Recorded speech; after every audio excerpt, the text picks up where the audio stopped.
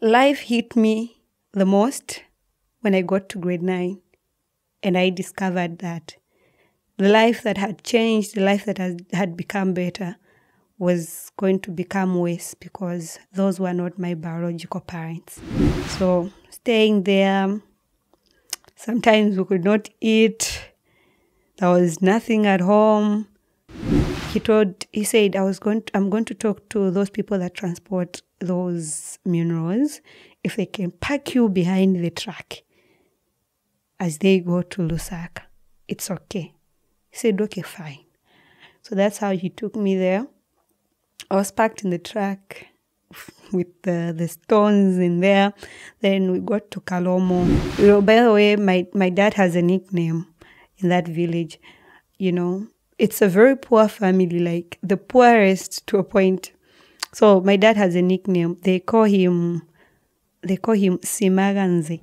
It's it means somebody who just wishes but never gets anything good. Dad told me there was no Rusangu for me. Um, he could pay my fees at a government school that was Kamwala Secondary. He said I'll pay, but the rest of other things like the other things that you need, you will know how to to figure out. Mine is to pay for your fees. The other things you know how to figure out. That meant I had to to hustle for myself. A lot happened to me. There were there were moments um, I there were moments in my life I spent nights outside so I could get to Kamwala, sometimes never go to class, just go by the school grounds and sit. And I have people buying, and I'm selling, I'm there. I was really sad. I remember one is- instance where a man told me he would be paying me 10,000 a week. That's a fixed amount but he he will be providing everything for me. That's if I was just willing to to to abide and stay. You know that, that that's a sugar daddy. And there were moments that were really hard when it came from the people that I trusted. There are times I don't understand why I have had to go through this, but I don't have to understand anyway. I can't kill myself. I can't. I'm already in this, so I'm in for it.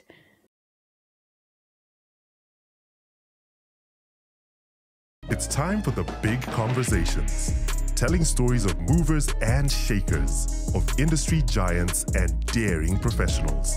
It's time for the conversations that change your perspective on life, the kind of conversations that shape entrepreneurs and move careers forward. If you don't know where these conversations are found, we are sending you a GPS. But if you're listening to this voice right now, you are here.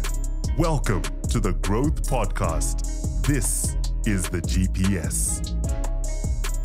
All right, welcome. Episode number 41 of the Growth Podcast is here. This uh, is the GPS. Thank you very much for joining us for another exciting um, edition of the podcast. Um, we've uh, we had Tafadzwa last week.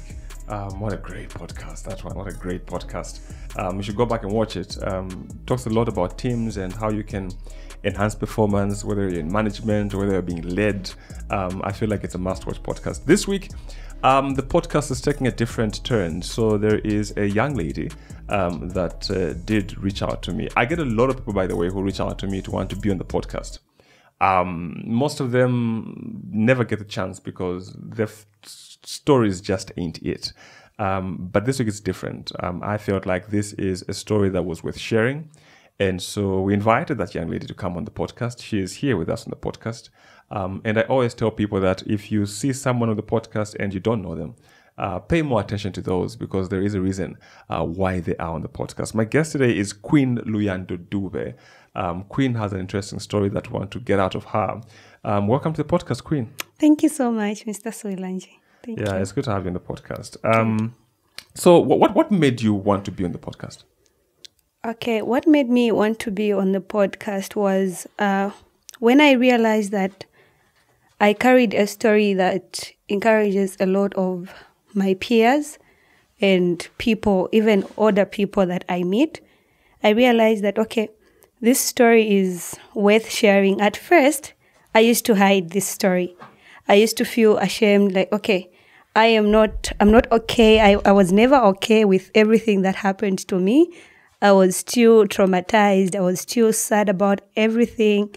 So what I wanted was to hide in inside me. I wanted to hide behind closed doors.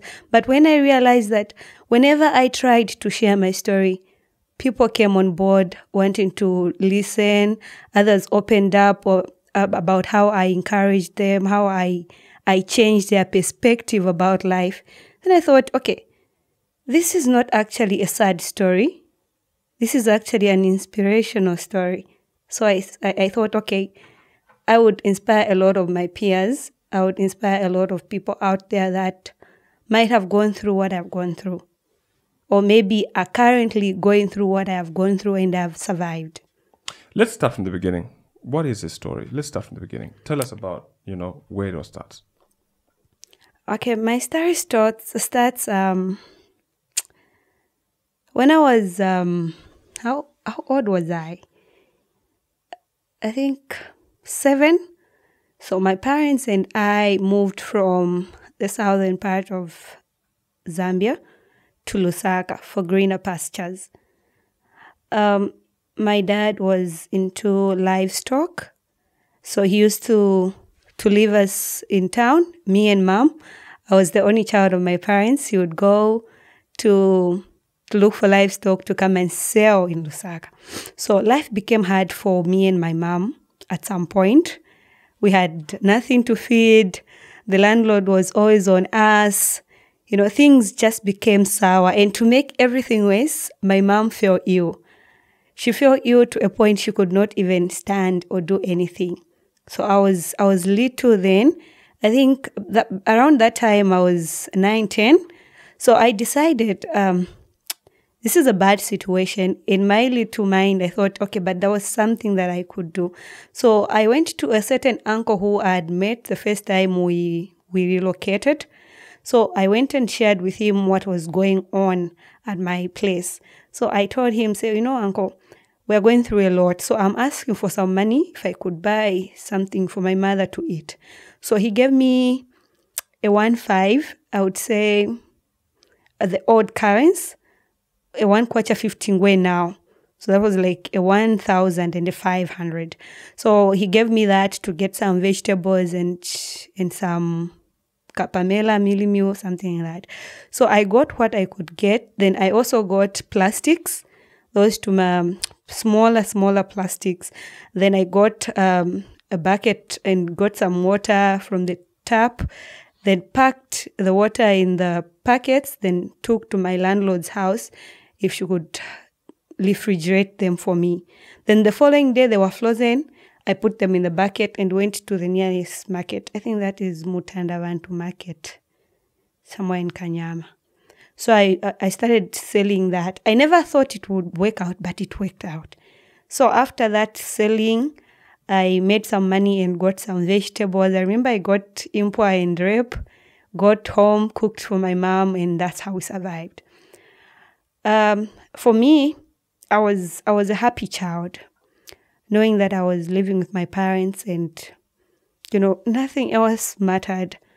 You know, we continued surviving, and then I moved to ice blocks so I could buy sweeteners to add into the water, and then pack them, go back to the market to resell. Sometimes I, I passed through schools. Then I was not in school. I was just home. Um, things changed for my parents. Um, to cut the long story short, things changed for my parents. My dad came back and he had made money. After making money, we moved into a bigger space, and I was later enrolled in, in school. Um, I started uh, my school in grade two. There was nothing like preschool, nothing. So I just started in grade two, and I was so smart. I remember the first time I was, I, I, I, I, I was the first position in my class. So there was that jubilation. This girl is smart. You know, I was able to read. I don't know how, but I was able to read even going to school, spending. So yeah. But then life hit me the most when I got to grade nine and I discovered that the life that had changed, the life that has, had become better, was going to become worse because those were not my biological parents. Um, you know,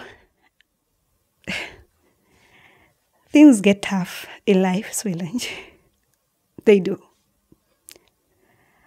Um,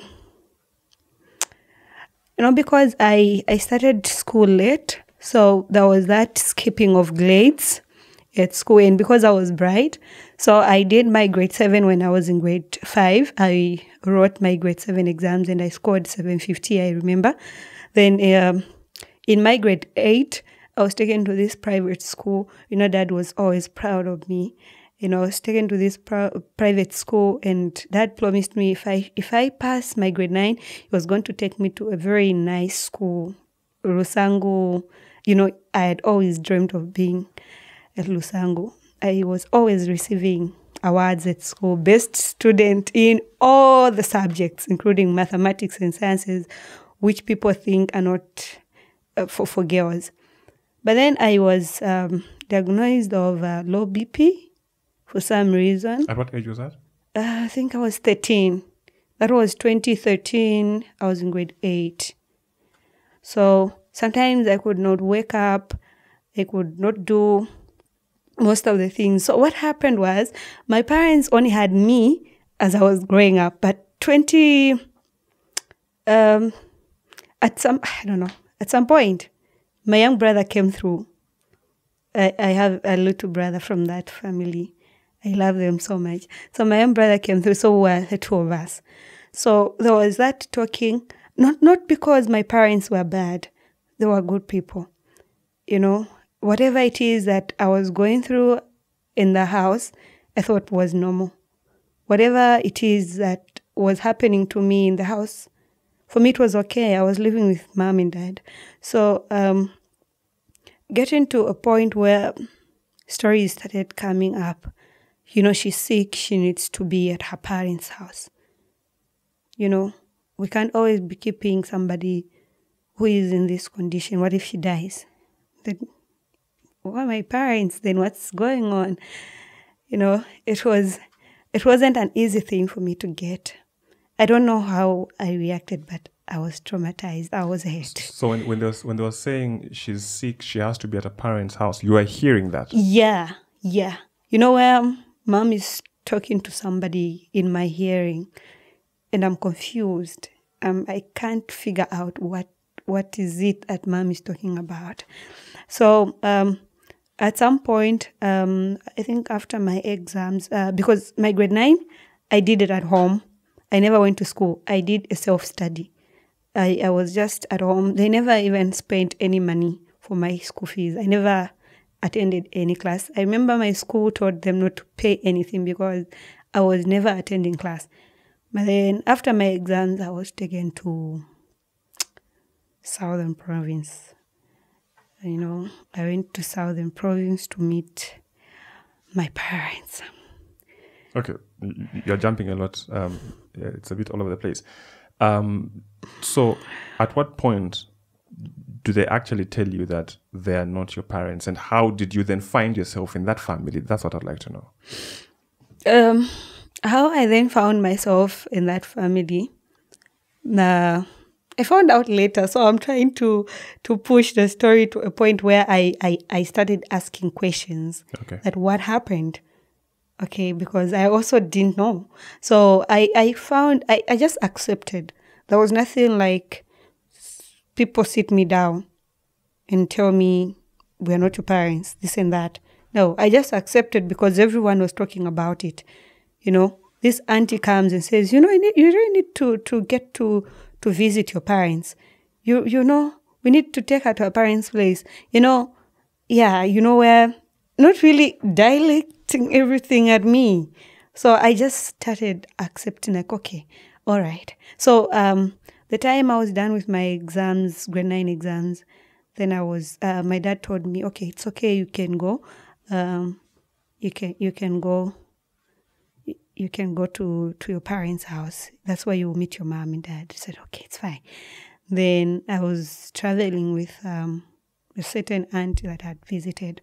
So we got to Intercity, traveled, and went. And then I got home. I couldn't accept that. You know, I got to a house, a thatched house. You know, where you look at people and you can tell, okay, these are poor people. These guys are poor. You know, I look at my dad, he can't walk properly. His leg looks, you know, it felt like there was something happening to me that I could not even comprehend. Like I couldn't understand. I couldn't. But then I, I told myself, okay, if this is where I belong, Lord, I'll try. You know. So I stayed there, but life wasn't friendly. Life wasn't friendly, and the, the siblings I found there were not, you know, they were not really, not that they were not welcoming, but they didn't know me. And you know, I looked, you know, there's a difference when somebody's coming from Lusaka and then they they go to the village.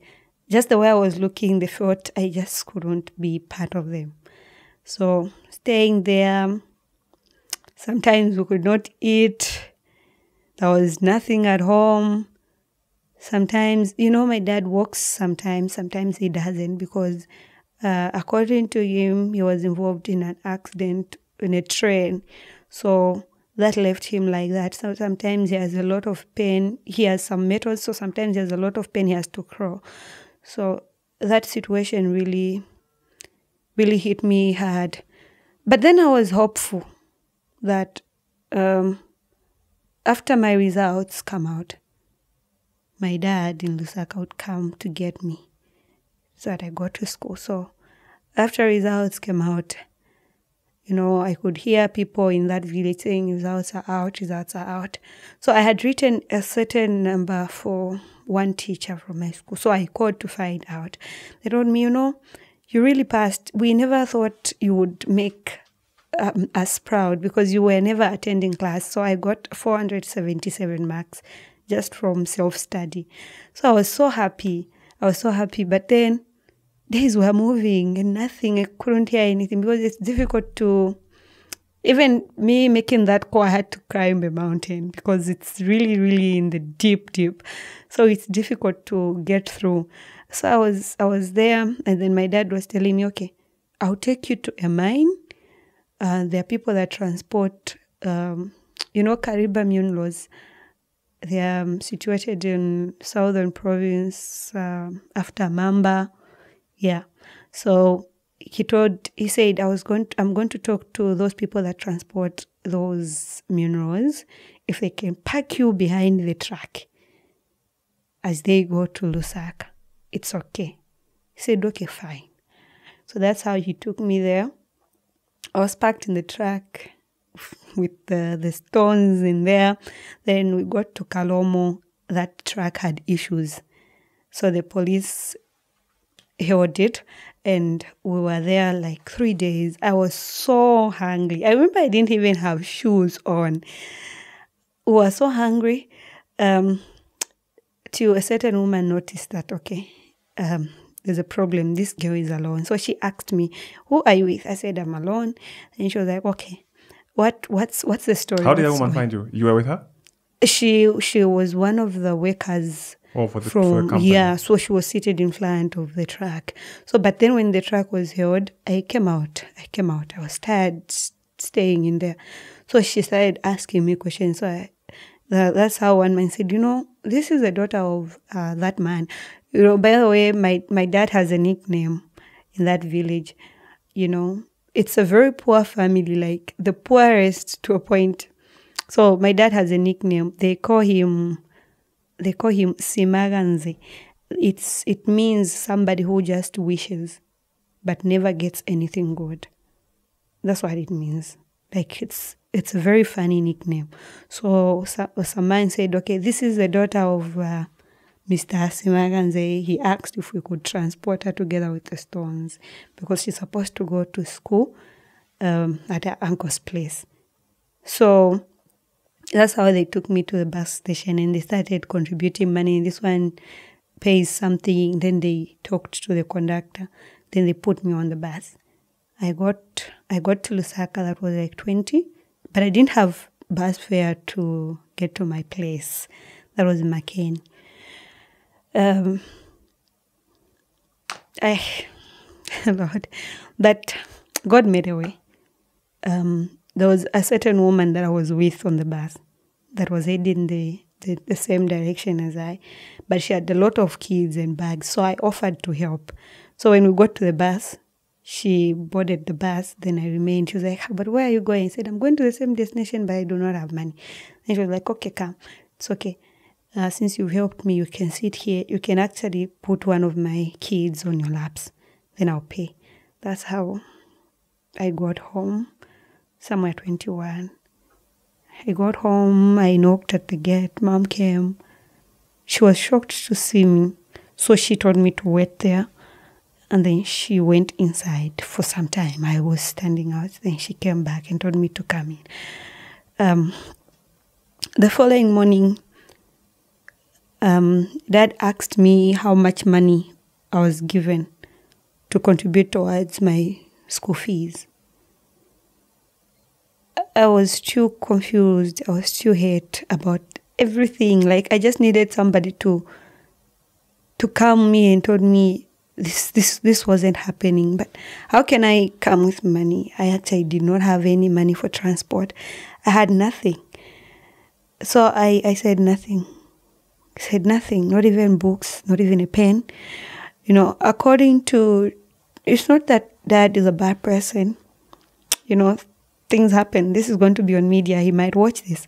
It's not like he's a bad person but there was a conflict going on um, between that family and my my biological parents you know where they were saying you got our child and then he was also saying but i was i just did that um, to help you you couldn't feed the child you couldn't do you know you don't have to paint me black you know your family is hunger stricken but i came there to help it's not like and what what really amazed me was that these were siblings actually yeah these were siblings.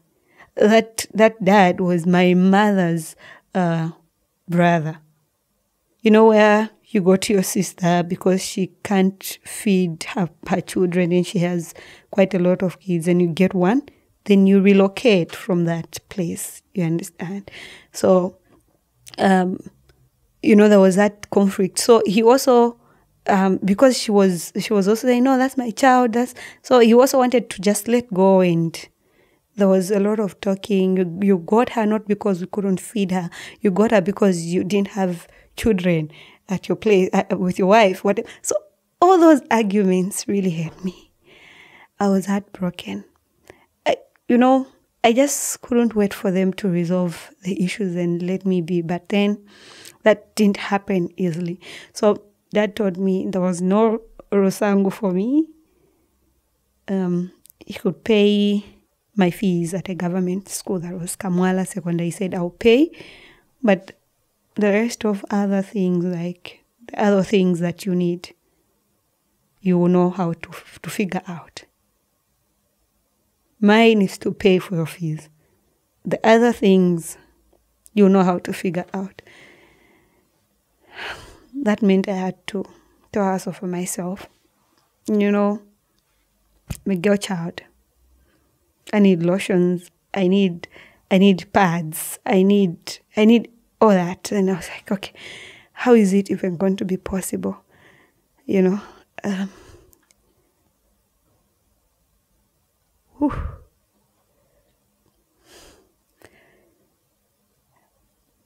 One thing I did not want to do was to give up. I didn't want to. Because I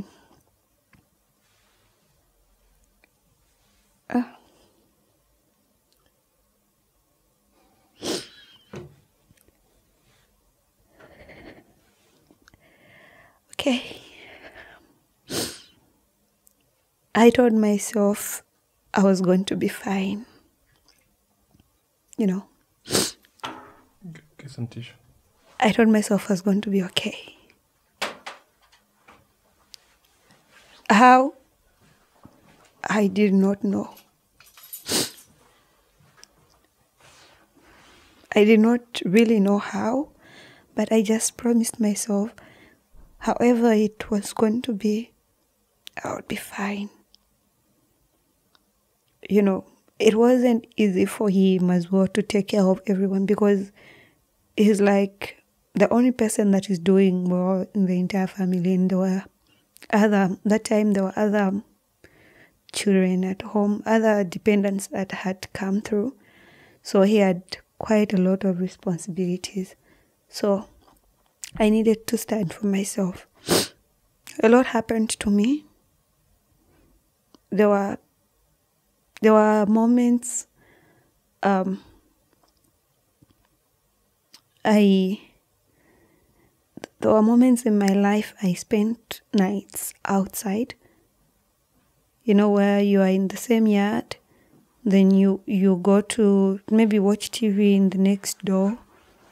Then by as early as 18 or 19 doors are locked and you have to be outside. For him, that was discipline. Why? Because he believed my family, um, my me and my other siblings were just like that. We were we had that wayward behavior. But then one thing that he forgot is that I didn't grow up with my parents. He raised me, but he always had that. He always had that anger in him because every one of my my siblings in the village were maybe falling pregnant as early as grade seven. So he always thought I would also end up that way. He was so hard on me. You know, there were moments I was, you know, I, there were moments I was really, really beaten for, for no proper reasons. That if I would tell you some of the reasons, you would think I'm lying Tell me.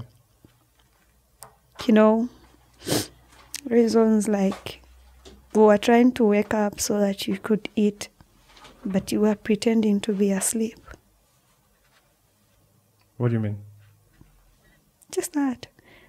Trying somebody is trying to wake you up so that you wake up and have dinner. But then you are fast asleep and somebody starts beating you while you're in your, you're in your sleep. And yeah. I don't want to go too much in that. But yeah. According to him, he said, we are, we are in good terms now. According to him, he said it's because he didn't want me to grow like my other siblings. So I was ever traumatized. The This who who, who was your relative? Is Dad. it the man or the woman? dad, that was mom, my biological Or your mom- biological mother? mom. That's the brother. Yeah. Yeah. So he's he's he's quite a very tough man and everyone knows him like that. But Did it treat you like that before you moved back to when you found your your real parents? Was it like that also before that? Was that changed after you found out about your real parents? um I would say things were almost the same but I began to see to feel the difference after I noticed because this was me growing up and thinking these are my parents. So whatever it is that I went through, I didn't think it was wrong. Okay. I didn't feel that was wrong because I remember even before that, I think at 11, I, there, were, there were moments I was like locked, locked outside, but then I could just sit. Locked outside. Where were you coming from? Where was I coming from? I was just in the same fence. Not not even after twenty. I mean, that's you know where those are compounds. You you you do play games outside. You know where parents are inside the house, and you can hear the kids playing games outside. you know, doing those to makabisha bisha bisha and all that. And the, the time just comes, And you know, it's in a fence. I'm not outside the fence, and I'm playing with other neighbors' kids. And you know, they're just moments where you tell guys, ten kunyumba manje, you know, let everyone go. When you get home and the door is locked, and you know, And you spend the night outside. yeah, but yeah, well, yeah, I do try to to knock and They don't open for you. no, but I can hear voices inside. And you actually sleep outside. Yeah, the whole night to somewhere six when they they wake up too. Yeah, but then uh, after grade twelve, um, How did you tell me? How did you fend for yourself? Because you said you only paid for for, for your, your school fees. How did you all these other things like you mentioned, your pads, your lotion, your other things, other needs? How did you meet those needs? um, you know, I thank him also because he said he would be paying for my transport fare because that was far. You get to town uh, on a bus, then from town you get on another on oh, another Oh, took the bus. bus to yeah, to Kamwala. So what happened was I used to walk. I would walk the first the first few weeks. I walked from straight Makeni to Kamwala, and then I I had saved up some money, so I used to order a few things like freezits, yeah, to sell to resell at school, and some ribbons, hair ribbons in Kamwala, just there in the Kamwala market. So I was always selling. You know, I was taken back to that life. You know, so I was used to to to sell, but then I just did not want to accept my situation that time. So I could get to Kamwala, sometimes never go to class, just go by the school grounds and sit. You know, have people buying and I'm selling, I'm there. I was really sad. I can't explain I, I can't explain what I was feeling. I can't. I can't tell you what was going on, but there's this in me that has helped me move on and carry on, believing that I'm human. Okay, so And what about your your aunt, his wife? What what how's how's how's the relationship with her? You know, I would, you know, it was, you know, what I do not want is to say those people are bad. I really, I'm really trying so hard to to run away from that. So I would say my relationship with both of them was okay. It's just that I did not. It was just a situation where I wasn't okay with what was going on with me. Okay, I wasn't okay with a few things that were done to me. Not that they're bad people, but I wasn't just okay with a few things that were done to me. You know, um, my relationship with mom, I still see her as my mom, even until now. You know, my relationship with mom is always okay. There's no, there was never a time we could we could just go on without talking. No, but it was just a life, normal life. I have some money, I get myself lotion, I get some my, myself pads, and I do some house chores. Next morning, I go to school.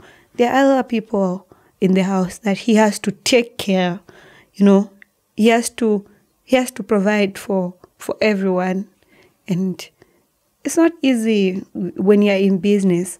So he was trying, just that, you know, it wasn't easy for me as well.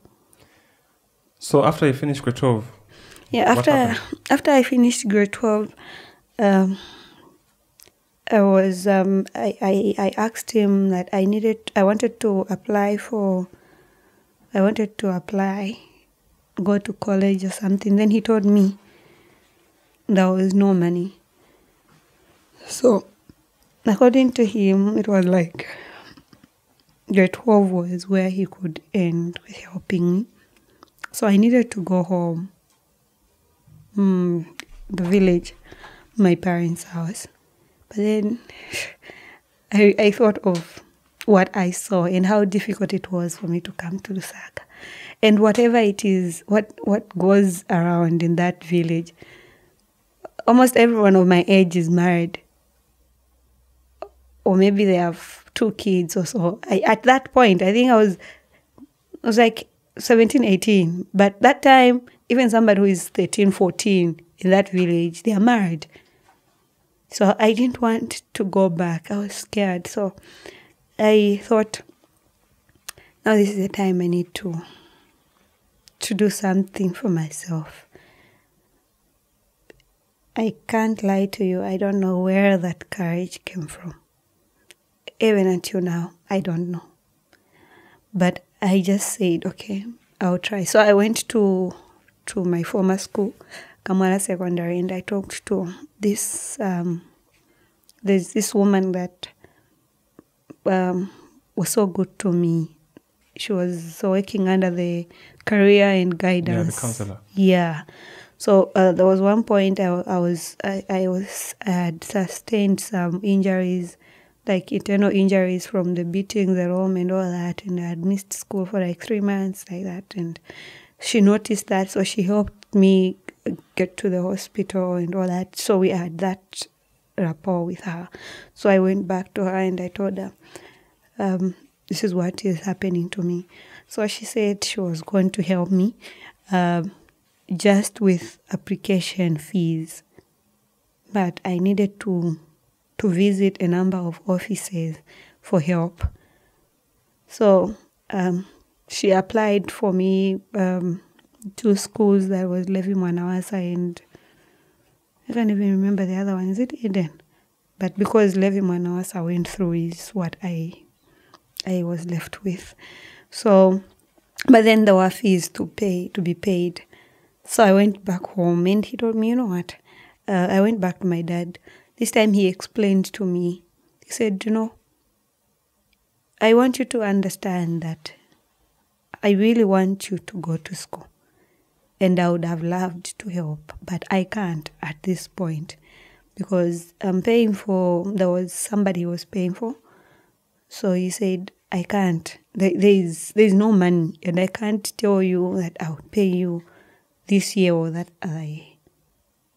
So there's no money. For me, you, I think you can just go home and stay. So it was the same old story. So I started going through offices. Um, I would walk from Makeni to Chawama looking for Tasila Lungu's office. I had no, she would, she can help. The, the MP. Yeah. But then, you know, sometimes it was, you know, it was not successful. I went to visit also the minister in Chawama who sent a letter to Levi Mwanawasa. Then I also went to social welfare. I went to um, the DC's office. You know, I went to Faweza. I was constantly walking.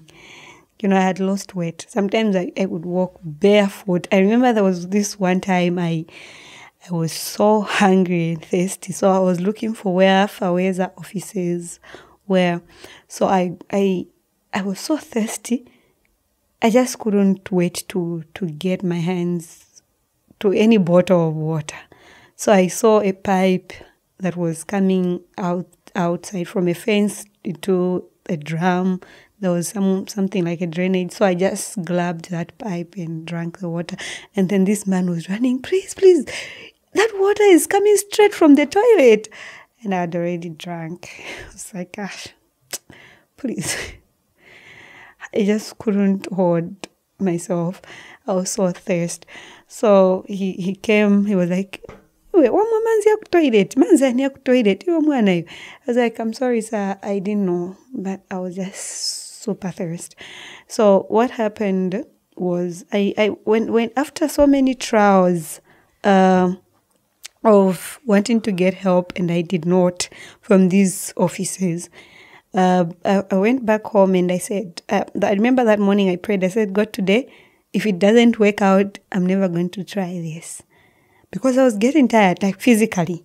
I was getting tired emotionally. So I remember that day I went to the DC's office, and every time I went there, I couldn't see the DC because, uh, you know, there's well, there's a guard there, um, the secretary, and they would tell me, you know, there are other important people that the DC has to see, and what about this child? So that day, Uh, because I told myself I was not going to try again. And you know, I know myself, whatever I tell myself, I do. So I knew if that day would not work out, I was never going to try again. So I said, today I have to do everything possible. So the DC was going out, and there was a guard and then uh, his driver. So they opened the, the door to the Hilux and closed the door. So I rushed there. They tried to stop me. I said, no, don't stop me. I, I struggled with them and went straight to the back window where he had sat and I knocked. So he, he lowered the window and you know, I you know I, I didn't know what his his reaction would be, but then I just thought. Ah, I, I will be fine. Then he said, "What's the problem?" And then um, that man started explaining. You know, this child has been coming here, but you know. Then he said, "No, no, no, enough. It's okay." He told the driver to hold. Then he he stopped the car and came out. Then he just held my hand and said, Follow me to the office. Then I explained to him whatever it is that I was going through. Then he said, Okay, I'm going to direct social welfare to help you with, um, you know, there's, there's a way these things go. But then I think you really need help. But uh, as we are trying to, to, to finalize how your scholarship would be, I'll just uh, direct the social welfare to at least pay your first school fees so that you can start going to school. I was so excited. I was super, super excited. And I went back home and I told everyone that, okay, finally I found school. But they didn't believe me. That was what shocked me. Actually, according to them later, he testified that he actually thought I just left home to go and stay somewhere. And But then I went into school. And then what happened also was, um, you know, these official things really are difficult. There are different people in these offices. At some point, my scholarship did not go through, and I had to find a way to survive in school. So I had a number of people helping me out. Then, then there, you know, it's it's just that.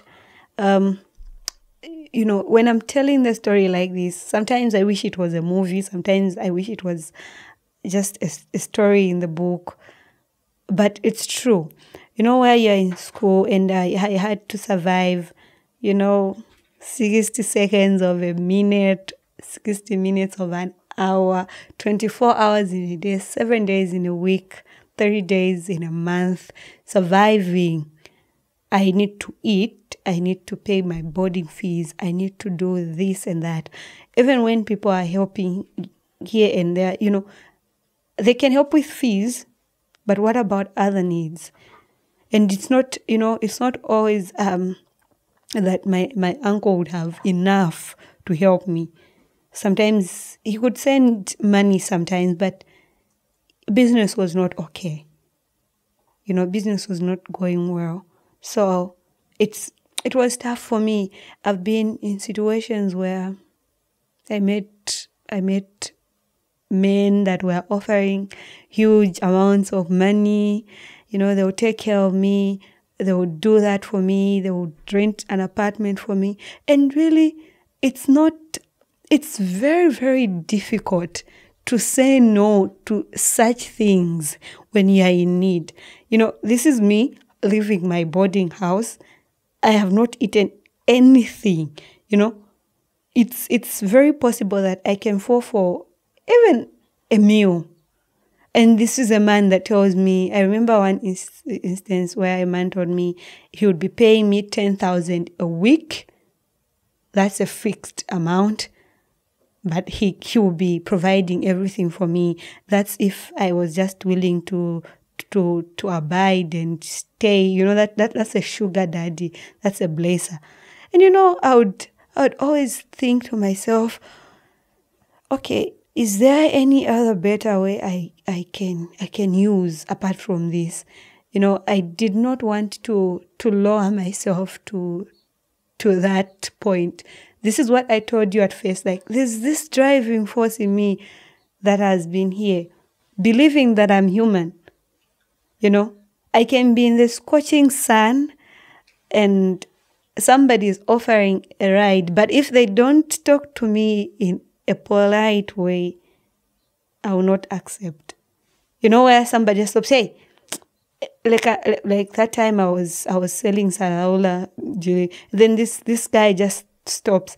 You know, anyway, like mimi wenda. You know, like he's speaking to some trash. And I was like, no, thank you, sir. I mean, I left home, I left my boarding house, going out to look for means of survival. I had no idea I was going to meet you. I didn't plan to meet you. So I will, I will go with what I planned to sell and get some money and get back home. But really, getting to a point where I have to be, mm, you know, treated anyhow just for survival, I said no. And there were moments that were really hard when it came from the people that I trusted. You know, there are people that are willing to help. Let's say this woman loves you and she wants to help you. She helps you actually. She's there for you, and the husband just doesn't agree. It has to be free. And the husband behind the back is trying to to make advances at you, and it's really tough. It, eh, you know. There are times I don't understand why I have had to go through this, but I don't have to understand anyway. What what what what uh, medical school were you at? Uh, Levi Mwanawasa. Did you complete? Yeah, I completed my my nursing and midwifery, but um, I'm still doing medicine. Something that I don't want to to talk about due to to some conflict that it might bring from my uncle's side. But I'm still doing medicine. You know, um, you know where he has a lot lot of questions so I'm really trying so hard to to filter what I can give out. But yeah, I'm still doing medicine, but I completed my nursing school. So yes, m- doing medicine to become a doctor. Yeah, Where? Levi. At Levi. Yes. Who's paying for that? Um, I am. You're paying for yourself. Yes. You have a job. No. Um. okay, so this is what happened. Um, second year university in nursing, I met um, a childhood friend that had become overweight. So she shared with me how it how it was affecting her and how depressed she was. She's actually older than me. She was telling me, you know, it's even difficult for me to maintain a relationship because everyone is talking about my weight. I really need help. So I started researching about that. Um, after the researching, I I discovered there are actually health ways than everything that is being shown on social media about losing weight. So I thought that you know we could try a few things. So we tried the first, uh, it did not work. The second worked just a bit, but then she really wanted to lose weight because she was overweight. So the third one, after my research, worked, you know, and there was no, there were no health um, effects like bad side effects. She actually had good effects. She she lost the BP. The BP was no longer high. It was coming back to normal. So after that, I had a number of people coming to me for that. And then I was told, you know, you can actually make this, you know, this can actually be a business. This is actually expensive. People are struggling with weight. So that's how I, I actually launched my first business. Um, I call it the QD Healing Aid. It's a health shop. It's now registered. So um, that we're trying to work against the the the the social media ways of losing weight. People don't actually lose weight after that, after paying a lot of money. You know, others end up having, you know, excessive like you know, severe diarrhea, which is not so good, you know, as a way of uh, losing weight. So there, there are better ways of losing weight, there better health ways of losing weight that I discovered. So that's how I started with the business. And it has really helped me. Um, I'm grateful to God. It has really helped me. And um, I also discovered something uh, through the same researches. I, I kept on discovering, you know, other ways of health living to a point I I grew my hair with some remedies that I was researching, and people are like, I remember the deputy registrar was like, Your hair has grown at Levi Mwanawasa. What did you do? Because I know you. This is not how your hair is. Then I said, Okay, this is what I'm doing. And then people started buying, you know. It's just that um, the picture of this business is broad and big, and I cannot, I cannot afford to get most of the ingredients, most of uh, the machinery I need to make some of these products, you know, to run the business actually. I remember the time I was doing some registrations, I had to put my other researches on hold because ZAMRA was requesting for too much. You know, where you discover something that is actually uh, a therapy, something that heals, like you need to pay about 35,000 just for registering. I was like, gosh, that's too much. And then I had to put that on hold because I, I don't have much. But then I've been, you know, I, I work hard. I work so hard. I'm proud of that. I work so, so, so hard. Like when it comes to hard work, I really think I do try.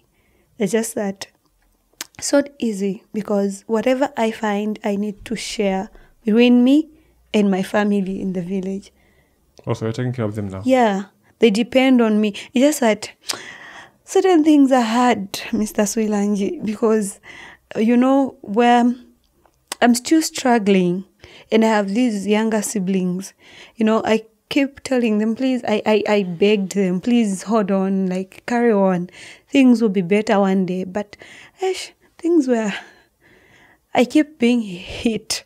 You know, I heard there was this man that was helping them at some point. You know, when things were really tough for me, I was just trying to survive out here.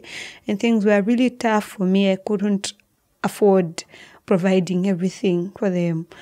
Um, because, you know, my mom is a sickler. She's ever sick. She has low BP. I think that's where I got it from. She has low BP and she's anemic. So she can't farm. Farming, she cannot. She can't. She cannot. She can't even lift a bucket. She'll get sick. Even the way she looks, you can see that by the way the, the paleness and everything. So it's tough. So there was this man that was helping my sisters, you know, give them food they take home. This old man, he's actually older than my uncle.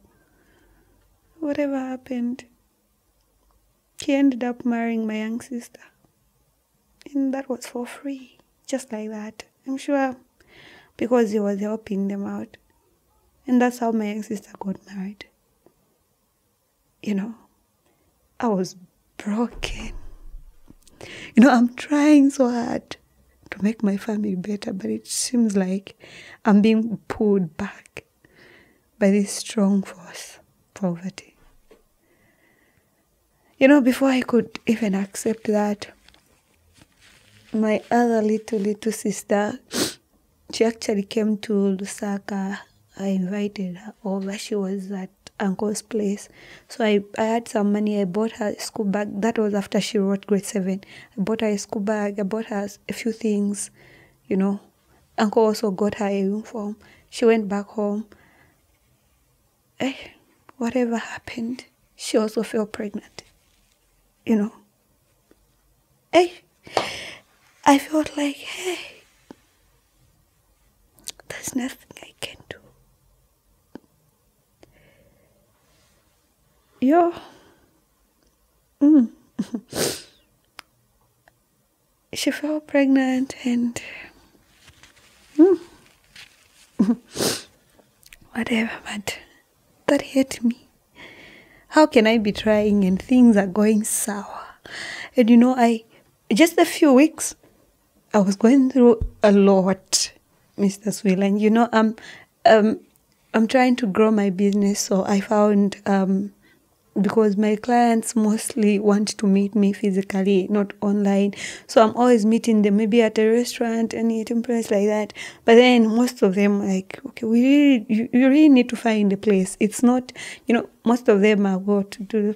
So there's that. So I found a, a place, my my my my room.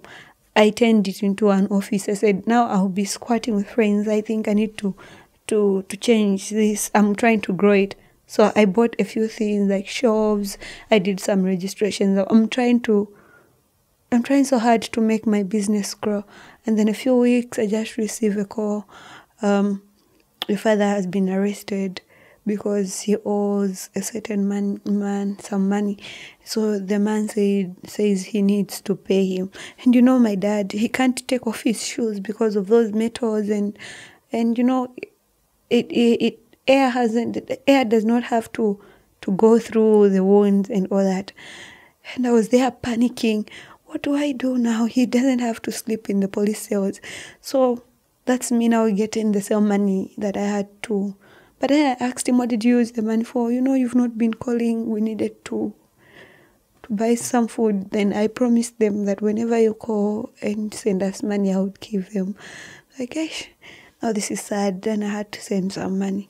And then, yeah, just a week later, somebody beats him up exactly on the same leg. You know, where people make, you know, people are poor. Not yet. I'm telling you that my my parents are poor. You think it's a story. You know, if I was to take you home, yo, you know where I don't I no longer get offended even when people are making fun of him because that's true. You know, I've just learned to to be strong and believe one day I'm going to make it. One day my business will grow. I will have funds one day to grow my business and I'll build my parents a house, a decent home. You know, I can't kill myself. I can't. I'm already in this, so I'm in for it. So somebody beat him up and they were making fun of him because I mean the, I think they other the, the same issues of maybe begging for food or anything. Maybe I don't know. I didn't even want to go in, in, in details. But then they he was beaten on the same leg. And then there was need for transport, rushing him to the hospital. I was like, guys, what do I do? I'm going to I felt like what okay, if you don't want me to try, just kill me, you know. I'm trying. But it seems like the more I try, I I'm drawn, I'm just pushed back. But then when I look at um other kids on the street, there's one that I talked to that told me, you know, my dad was an armed robber and we did not know so he, after he was he was shot, and um, the police came and got away with everything because everything he had was you know was achieved through robbery. There was nowhere I could stay. That's how I ended up in the streets. But somebody told me of your story. Aliko some guys waku church so somebody know, knew about my story from church and went and encouraged that person. And that person left the street because they heard about my story. They couldn't wait to meet me. So they told me, actually, I'm fine away. You, you, you make people realize that there are better ways of survival than actually just being on the street and doing other wrong things like the way I went on the streets and nazojompala abantu my phone. But then after they told me at mkazi zoonanga kuchimfya bwanji no she had options of doing all that that, that you are doing but she changed. I i couldn't wait to meet you. I was like okay. Then i need to carry on. Like there's hope. I know i haven't made it yet but if i couldn't give up then not now it's okay if I'll die, but I want to die strong. If I give up now, you know, if I wanted to the funny thing is that if I wanted to make my life better, I would. God is my witness. I would. But not the right way. I would. There's so many, many of these men that tell me, you know, I'm pretty, you know, all I need is just proper care. And if I chose to go that way, I would just start with that that one that one I wanted to to to to mention his job but then his occupation but then I, no. I would just start with that one. And then he'll give me a hundred and thirty thousand and obviously my business would would just grow and I'll I'll invest it. But whatever will come out, whatever time that I'll die, I'll not I'll not die strong. I'll die as a weak person because I gave in to wrong vices.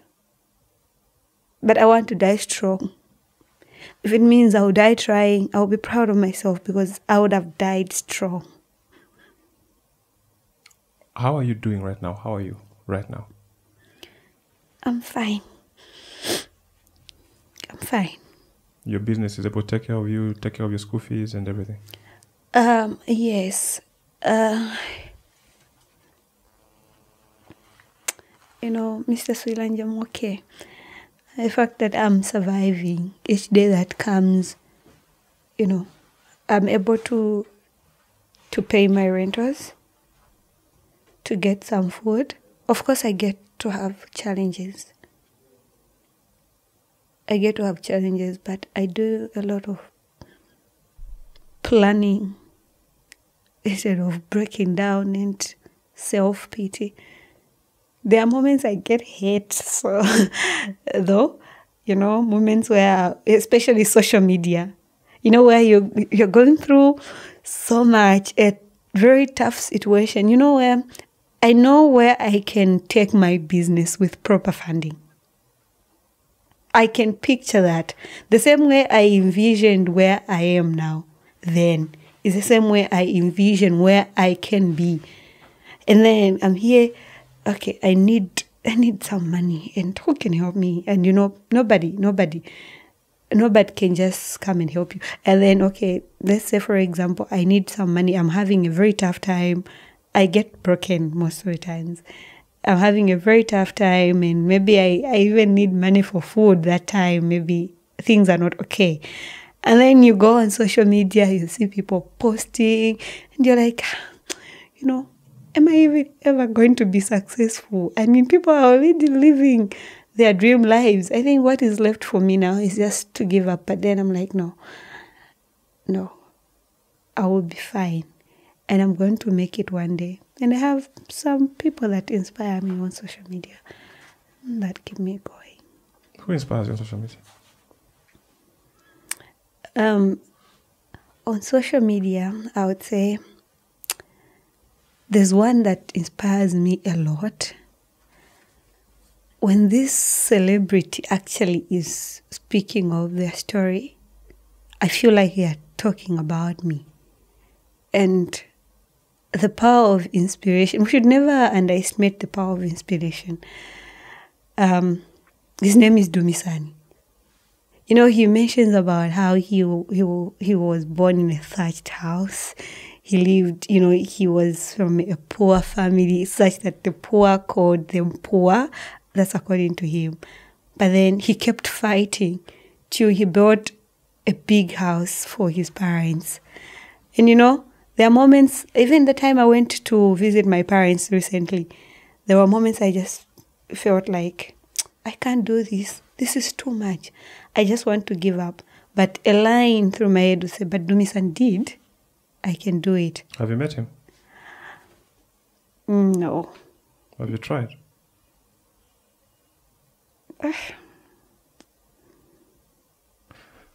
Let me call him for you. I hope he picks up. I hope he picks up.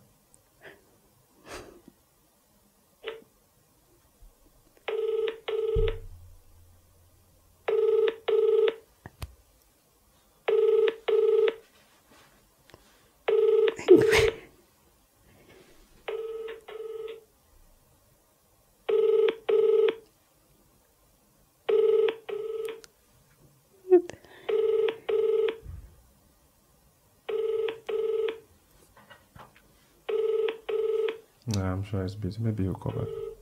Okay. Yeah. So he Yeah. inspires you. Who else inspires you? Um, Who do you want to be like? He has called back. My leader, good afternoon. Hello. Hello. Hi, how are you? Ah, I'm good. I'm good. How are you? I am very fine. You are live on the podcast. Where? How? So, uh, long story short, um, I'm here with a young lady. Her name is Queen. Um, Queen. Okay. Queen has a very emotional story Dumisani. Um, I think you would like to hear it yourself in person. Um, but she relates to what you say that uh, you were so poor that the poor called you poor. Wow. Uh, she, she has quite an emotional story. I think um, when you're free, I would like you to, to meet with her. But for now, I, I, I just want her to say hi to you. Just hold on. Okay. hello. Hi, Queen. How are you? I'm okay. How are you, sir? I'm. I'm very well. What? I'm very well. I can't believe I'm talking to him. No, Oh, no, it's okay. Wow.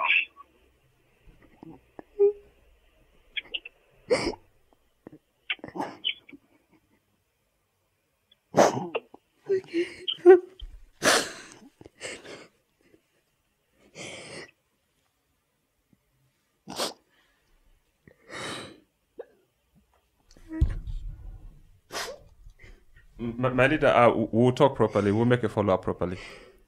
Okay, my leader. All right, thank you. Yeah. Um. No, no, don't, don't, don't, don't, don't, don't, don't. Yeah. No, don't worry. It's fine. Um. You, you meet with him. You, you meet with him. Don't worry about it. Arrange. You meet with him.